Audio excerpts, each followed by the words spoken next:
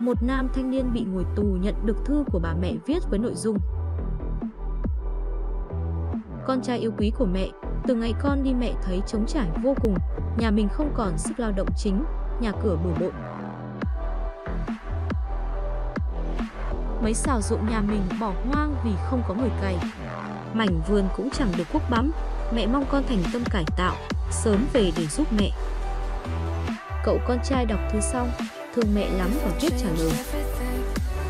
Mẹ kính yêu, chỗ mấy xào ruộng nhà mình mẹ đừng có mà làm gì, chẳng may lại lộ ra mấy cái đồ con chôn ở đó.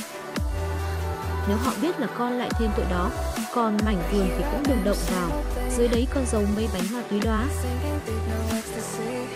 Mấy tháng sau trong tù người thanh niên lại nhận được thư của mẹ mình.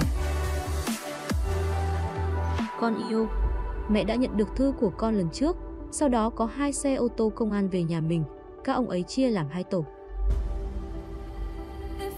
Một tổ ra đồng cày tung mấy xào ruộng, còn một tổ ra vườn quốc lật hết đất ở đó lên, không tìm thấy gì, các ông lẩm bẩm chửi thề xong về rồi con ạ.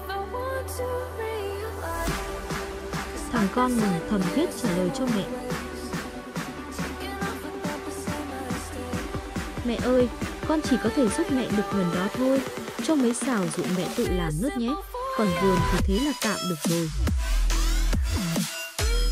Hạnh phúc của con là được nhìn thấy nụ cười hạnh phúc của mẹ hàng ngày. Con cảm ơn mẹ vì đã cho con xa mẹ để con trưởng thành hơn nhiều trong cuộc sống này. Khi bạn nhìn vào mắt của mẹ, bạn sẽ thấy điều tinh khiết nhất mà bạn có thể tìm thấy trên cuộc đời này.